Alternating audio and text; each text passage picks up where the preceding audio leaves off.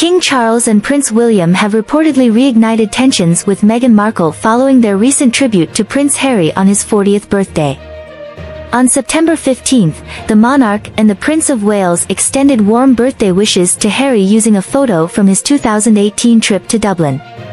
However, the choice of this particular image has drawn criticism.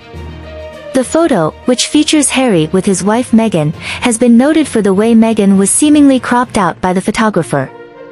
This decision has fueled speculation that the royal family is signaling they may be willing to reconcile with Harry but not with Meghan.